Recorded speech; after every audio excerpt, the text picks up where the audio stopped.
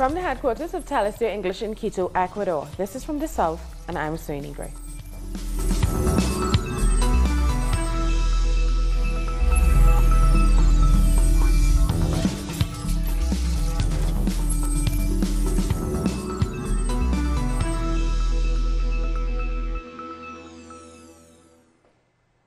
Demonstrations continue in Buenos Aires as protesters take to the streets to show their disapproval of President Mauricio Macri's government and the G20's presence in Argentina.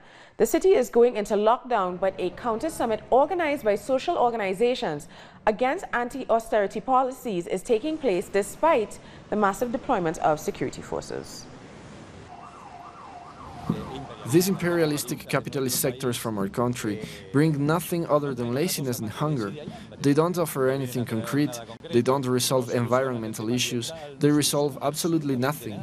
The only thing they are doing in our Americas is taking our natural resources. And other protests have also taken place in Argentina against the verdict on the rape and murder of 16-year-old Lucia Perez. A criminal court on Monday ruled that there was not enough evidence to charge the three men accused, which sparked outrage.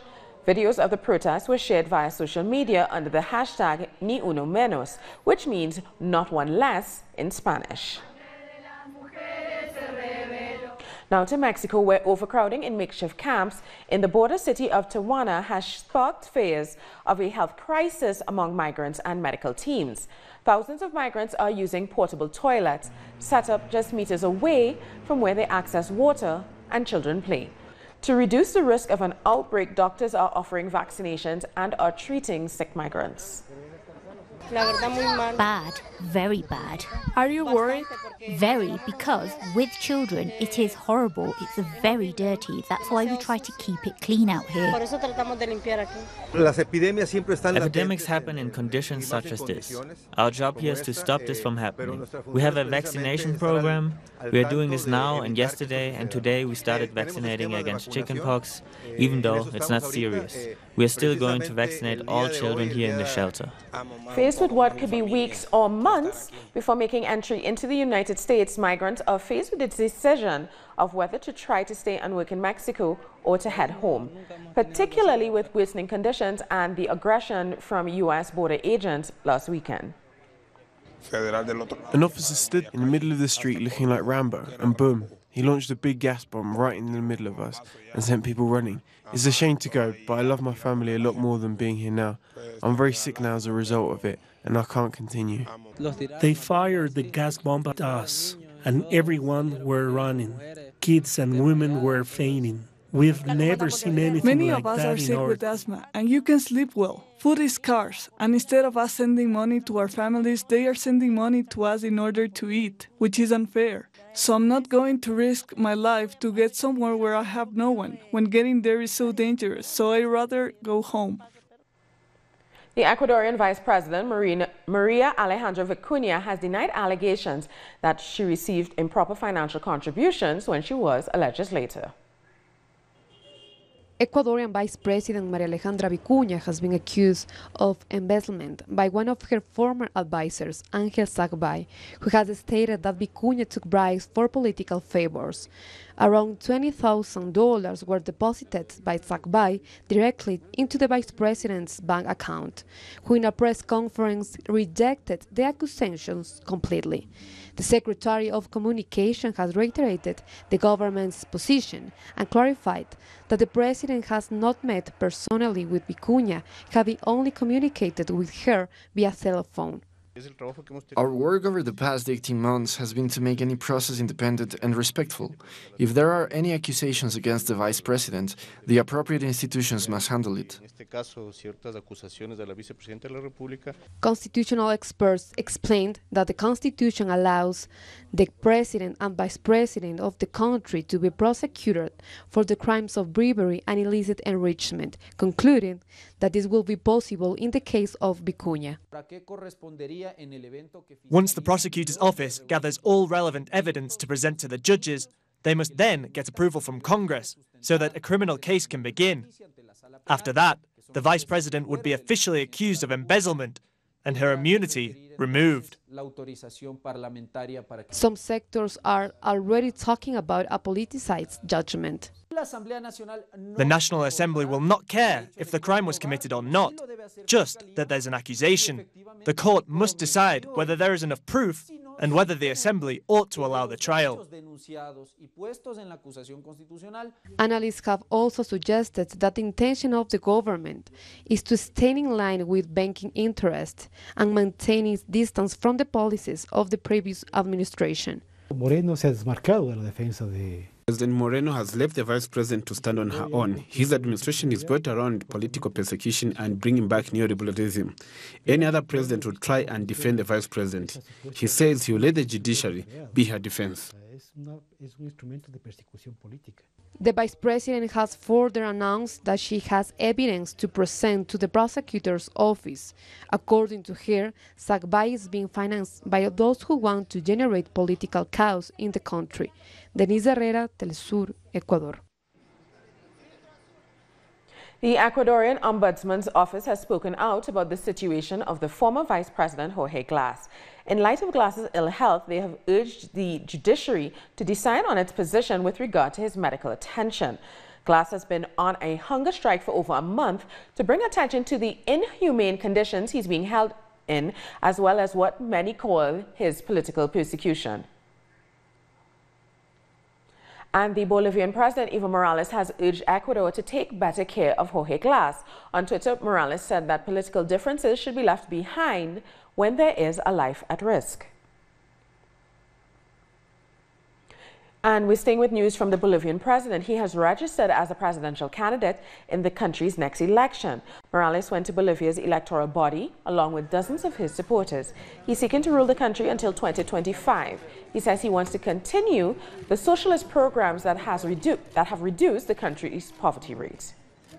Brothers and sisters, we are here to register our participation in the primary elections. We are convinced that with our supporters, for a Bolivia that is changing through its democratic and cultural revolution, that on January 27th of the following year, the people will decide this.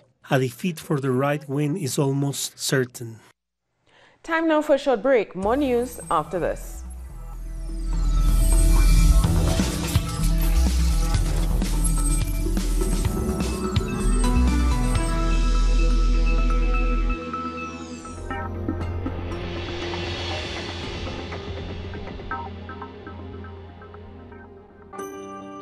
Enjoy our programming from Monday to Friday, where you'll find the best information on culture, innovation, conservation, human well being. Keep up to date on the latest innovations in science and technology with Atomun. The habits and knowledge you need to live a healthy lifestyle are on Guide Your Body. Environmental consciousness is required to preserve our Earth undergo your transformation on Green Zone. All about equity, diversity, and respect for identities on By Gender. Cultural manifestations, the art in all its forms, and the stories of real lives. Every day we feature a wide variety of content, only on Telesur, the news source from Latin America and the Caribbean.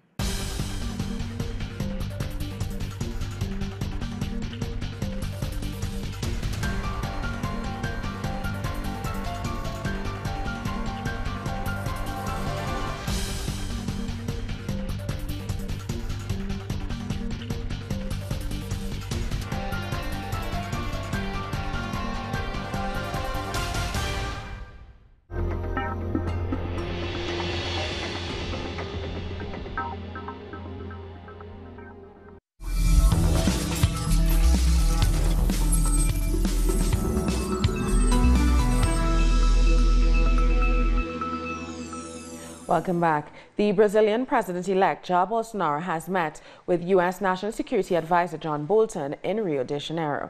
This is the first high-level meeting between U.S. and the Brazilian leader. The two representatives hope to strengthen economic and security ties. Among others, Bolton said, Bolton said he is preparing the ground for a meeting between Bolsonaro and U.S. President Donald Trump. Brazil will not be hosting the COP25 UN conference next year due to reported financial limitation.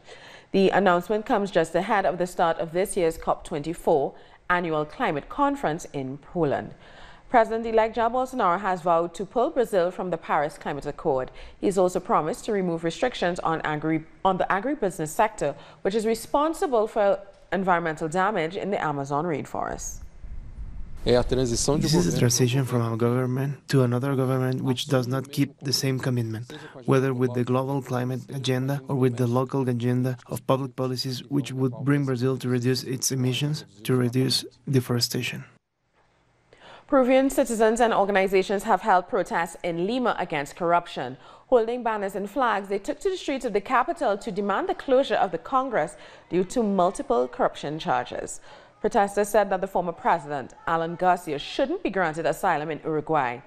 They say he must be brought to justice and be made to face the full legal consequences of his alleged involvement in corruption and money laundering linked to Odebrecht.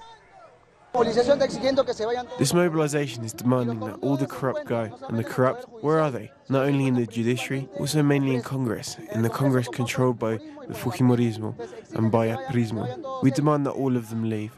And heavy rain continues to fall across Peru, causing a river to burst its banks and lots of mudslides. Local residents attempted to cross a highway made impassable.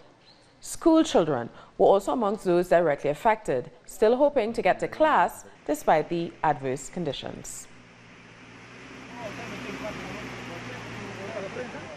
Moving on to Chile, public sector workers have been protesting to demand the government improve their working conditions. On Tuesday, they held demonstrations outside the presidential palace. They wanted to enter Constitution Square, but security forces cordoned off the area. This is bad because repression still exists in Chile. The dispute between the current government and the public sector broke out over salary negotiations, which they usually hold at the end of each year. Every year, the government, but especially the current right wing administration, doesn't improve the rights of public sector workers. In fact, they increasingly curb our rights and salaries. Public sector workers asked for a 7% salary increase, but the government has decided to freeze it at 3.1%. It is an embarrassment that the government is trying to give us a raise of 3.1% instead of 7%. These demonstrations represent the feeling of over 350,000 workers across the country, but their concerns appear to not matter to President Sebastián Piñera, who was hosting his Peruvian counterpart inside the palace. When workers have bigger incomes, the economy improves as well. So when the government of President Sebastián Piñera only gives pennies to workers, they don't only harm them, but in fact the whole country. The situation doesn't look good for workers. November 30th is the deadline for any salary negotiations. If they don't manage to reach an agreement, then there won't be any salary increases for 2019. And what's worse, it is also the last day to renew work contracts, which is why many people fear there will be massive layoffs. And Sebastian Pinera's government and public sector workers have reached an agreement after protests and negotiations on wage adjustment. Our correspondent, Tiara Valenzuela, has the details.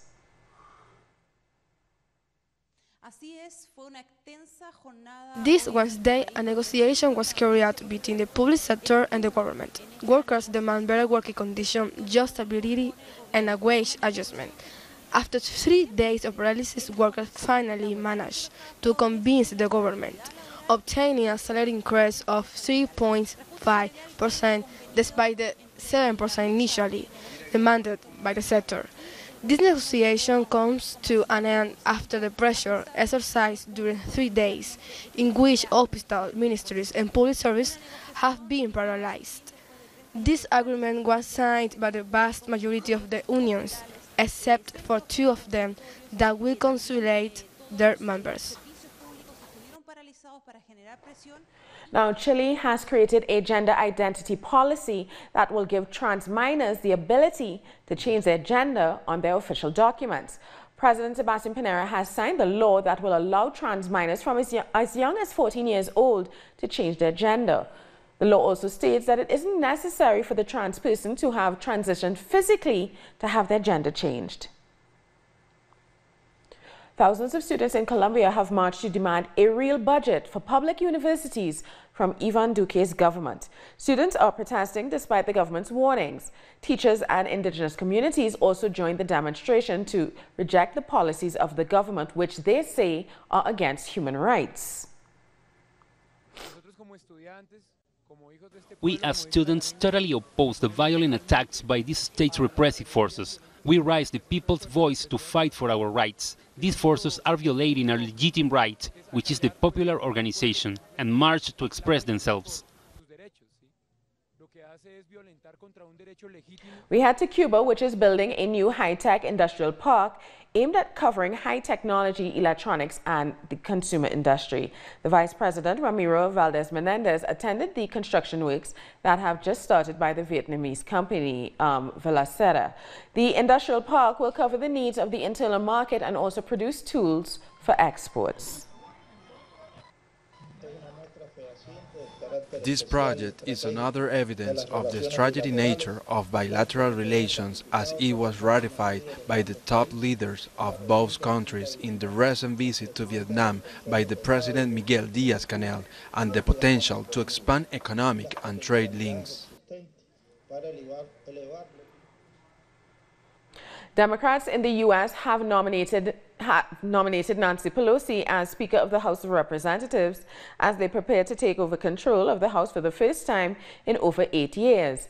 Meanwhile, Republicans are expected to vote against Pelosi, who previously held, held the same position between 2007 and 2011.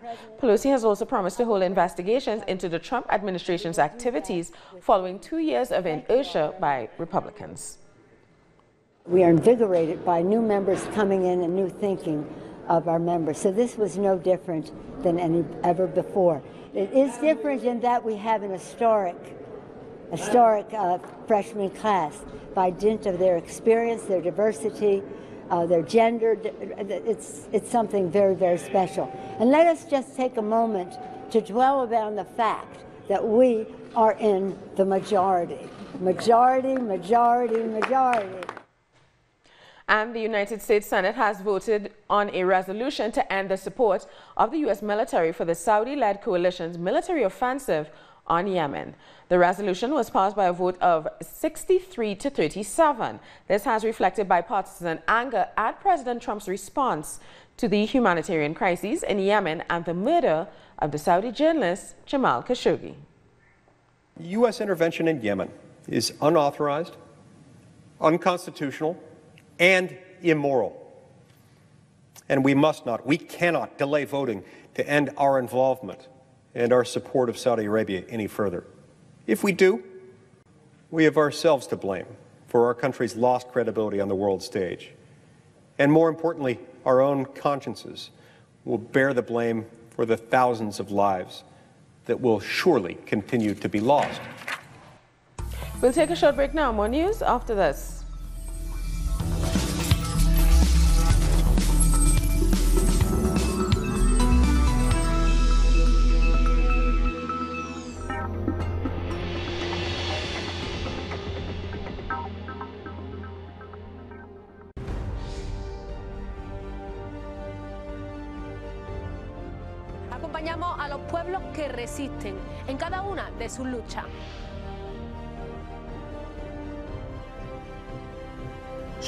Esa ventana que se abre para visibilizarlos entre fronteras.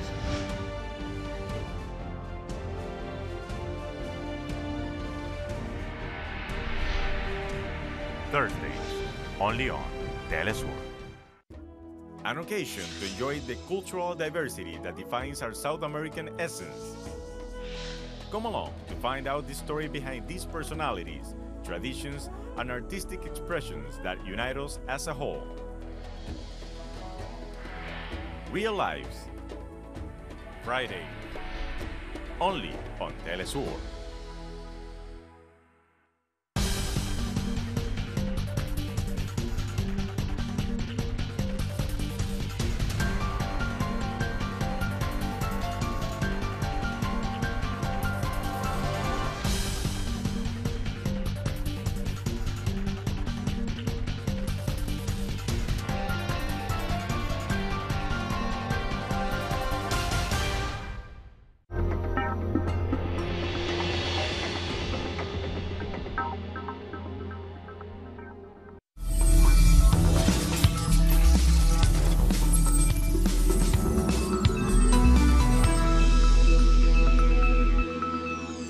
Welcome back. Thousands of farmers from across India are in New Delhi demanding debt relief and remuner remunerative prices for their produce. The farmers will be headed, headed to the parliament to call for a special session to discuss the crisis in the agrarian sector. Hundreds of organizations are supporting today's march, which is said to be one of the largest congregations of Indian farmers in recent times. We will only stop if every farmer is provided with 1.5% increased amount of his total payment for his hard work, his family's effort on the land, cattle and tractor related work. They include the cost of diesel and fertilizers. Otherwise, this is just deception.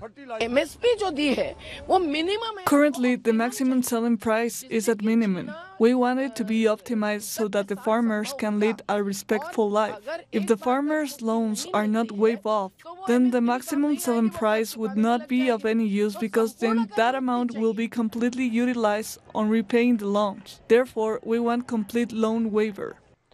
Turkey's capital has named a street in honor of the legendary U.S. human rights activist Malcolm X. Ankara city workers changed street signs on Thursday morning. Now, this is the same street where the new U.S. Embassy is currently being built.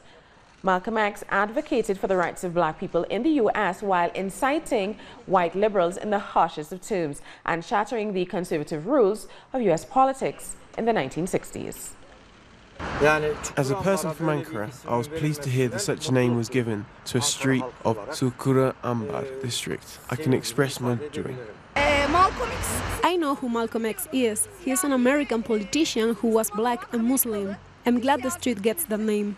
But I want to say, not only the name of Malcolm X, but all the heroes' names should be given to the streets in Turkey and in the world. Nigeria's president has urged soldiers not to give up the fight against armed jihadists Boko Haram on a visit to the key city of Maiduguri. Despite heavy losses, Muhammad Buhari paid tribute to the army who he says have helped to secure the area. His visit came a day before he holds talks with his regional allies on how to counter Boko Haram. Now, there's been an increase in attacks on the military and civilians, leading to fears of a resurgence. The bottom line is to have personal security. You are only secure physically and materially as long as this country is secure. If for any reason this country is made insecure, you are the first to lose your security. The railway connecting the port of Point Nioro with Brazzaville in Congo has resumed service two years after it was forced to close. The service was disrupted after fighting between state forces and rebels in the Pool region. The reopening coincided with the Republic's 58th anniversary of independence from the Democratic Republic of Congo. It was very hard. This recovery for us can only bring joy, especially since we have spent two years of technical unemployment. Ruling party candidate Salome Zurabishvili has won the presidential election in Georgia, according to preliminary results announced by the Central Election Commission. With 54 out of 57 polling stations counted, Zurabishvili received almost 60% of the vote and her opposition rival received 40.46% in the second round of voting. With that, she will become the first woman president. The second round was under close scrutiny by opposition and international observers due to complaints of irregularities. The preliminary results of the second tour of presidential elections in Georgia are such. Candidate number 5, Grigol Vashadze, has collected 779,000 votes, which is 40.46% of total votes. Candidate number 48, Salome Zurabishvili, has collected 1,147,000, that is 59.54% of total votes. Ukrainian President Petro Poroshenko says his country is ready for a possible confrontation with Russia. Tensions continue between the two continue after Ukrainian military ships entered Russian maritime space. Similarly, the U.S. Secretary of Defense James Mattis has accused Russia of attempting to annex the Kerch Strait. On his part, Russian President Vladimir Putin, Putin says his country won't fall to provocations. It is a sign of the planned provocation to take advantage of the situation and introduce martial law in the country. There is nothing in common with efforts to try to fix Russia-Ukraine relations. It's a game for Klein. It's a dirty game inside the country to suppress its political enemies.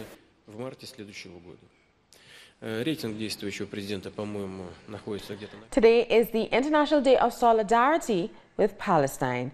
And also, Palestinian political prisoners Ahmed Zatari, who's 16, and Shadi Farah, who's 15, were released today after spending three years in prison for crimes they did not commit.